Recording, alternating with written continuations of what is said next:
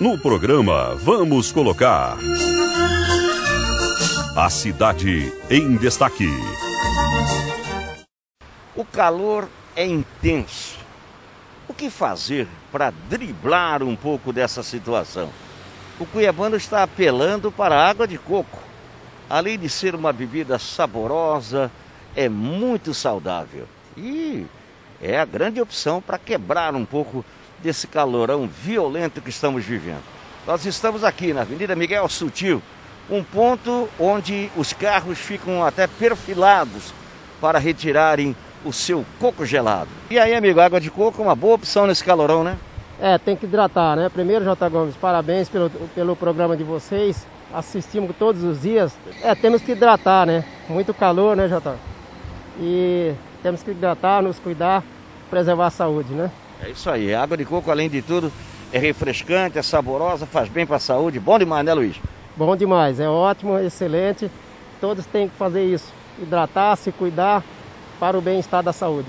É, a gente teve essa ideia, não partiu de mim, partiu do, do patrão, é, de implantar esse sistema aqui em Cuiabá, que parece que até foi uma novidade, né? O drive entrou de água de coco. E por incrível que pareça, rapaz, ocasionou bem numa situação dessa pandemia, né?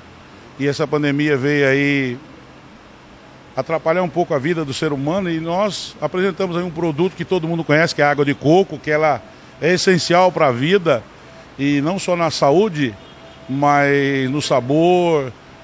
E esse clima ajuda. Então, graças a Deus, tem dado certo essa ideia. Deixa eu te perguntar uma coisa, curiosidade do telespectador. Uma média de quantas garrafinhas vende aqui por dia? Só para você ter uma base. Uma média.